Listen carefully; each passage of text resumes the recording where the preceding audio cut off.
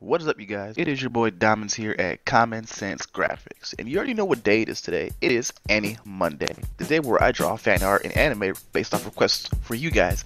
But a little disclaimer here for you guys before I jump into it. Um, as things start to reopen, I had to return to work and stuff, so usually I try to post about like three or four videos a week and it's gonna slim down here since my time is gonna become more limited but I just want to let you guys know but let's jump right into it so this time around, I did not put up a poll. I am sorry, I've been very busy. So this is just some off the top type shit. So yeah, I'm sorry, but uh, let's begin. Uh, the way how I usually begin my drawings always is with the base circle. As you always see like I drew on this one, the base circle and the triangle, because it really gives the body the most form.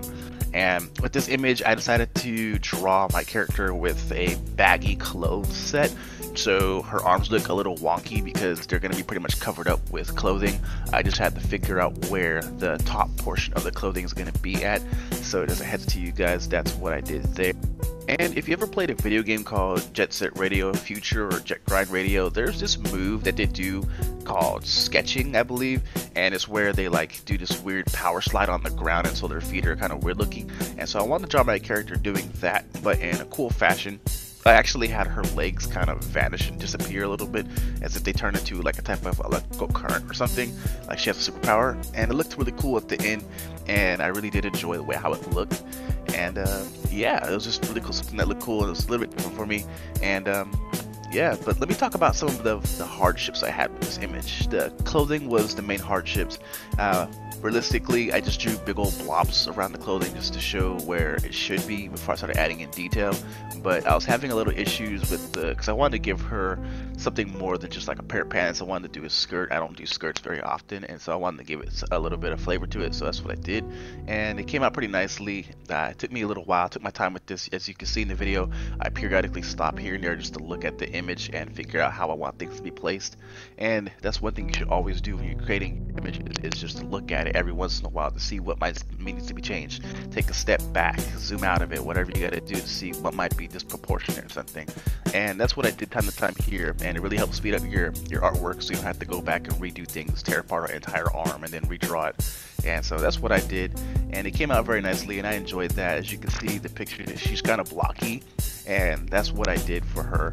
I deleted all of the internal details, uh, like the uh, all the lines I did for the, the, the triangles, the circles, and things like that. All the skeletal lines, I got rid of those because it helps clean up the body as you're drawing it, so you don't get confused with newer detail that you add to it. Usually, I do just switch the color around to a different color, and it helps out a lot. But in this case I had completely forgot to make a new layer so I'm drawing the red lines right above the blue lines. And usually I always make a new layer just in case I need to go back and delete anything. It's going to be separate and when you draw over other lines in Adobe Illustrator it's a bit difficult especially when you're trying to pick um, certain little segments out uh, and if you use the magic wand tool it will select every color in that color range and so it, it makes it more difficult and so I was like darn. And that was my big mistake of this image was drawing the red lines directly over the blue lines. I forgot to make a layer. You should always make a layer whenever you start any new type of line art because it really does help out. It keeps everything clean and well organized and that's pretty much it. This image was a very fun image. It wasn't too difficult. The legs and the the line art issues was my main issues here the legs was a bit wonky because I usually don't draw my legs uh, concaving into each other like they are in this image and it's spreading apart. It's just a weird look. It's like she's like I said if you have ever done this before where like let's say it's raining outside and you got some like some vans on and you decide to go run uh, really fast and then stop your feet and then slide along the smooth concrete it's just like that. And you know you make this almost exact same pose and that's where I got the idea. It's been raining a lot for the past couple days and I was like you know what? Why not? Why not? It'd be cool. It'd be fun but we're not getting towards the end of the video and you know what I do it's your boy Dominzs here at Common Sense Graphics I hope you guys enjoyed the video hopefully you guys enjoyed this off the top type of shit and yeah hopefully you guys stay tuned for my next poll when I put it up sorry I didn't put one up this time but yeah, you know, all that bullshit. Rate, comment, subscribe, hit that like button, hit the bell icon, all that. Your boy out. Enjoy the speed section.